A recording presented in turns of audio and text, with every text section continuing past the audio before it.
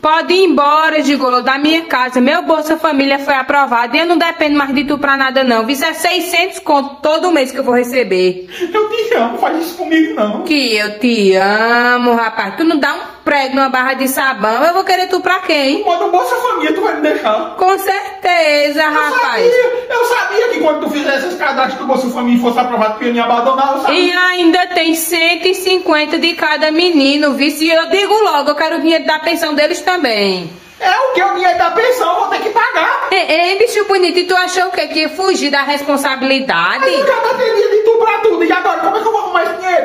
Problema seu, rapaz. Vai procurar o que fazer. Não sei pra que eu fui me amancebar com tu, sinceramente. Tu não vale nada, não. Vai-se embora. Eu vou pra onde? Eu não tenho namorado. Se vira, peão. E é problema meu, por acaso? Vamos ficar junto e dividir esse Bolsa Família. É o quê, rapaz? Tô fora, eu vou é luxar. Luxar.